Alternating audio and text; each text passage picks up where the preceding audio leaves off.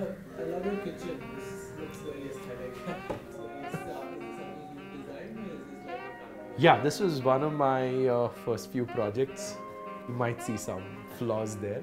Hey, hi, I'm Karthik. Uh, I'm an architect by profession. I'm 42 years old.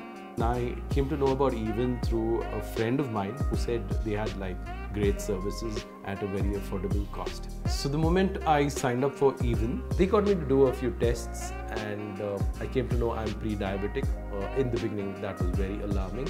But then uh, they assigned a doctor to me, Dr. Benita, and she told me that I'll have to make a few lifestyle changes, a few dietary changes, and she said things would be back in control.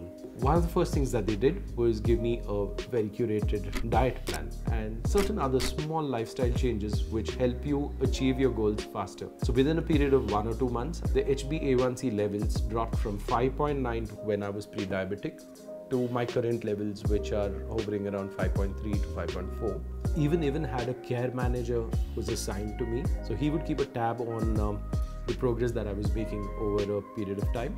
We've had regular tests to make sure that my doctor and i were able to see how i was improving over a period of time. And all these tests were covered in the initial cost. And unlike some of the other insurance companies that have hidden charges even was completely free and that gave me a great sense of confidence to work harder to ensure that I could beat diabetes.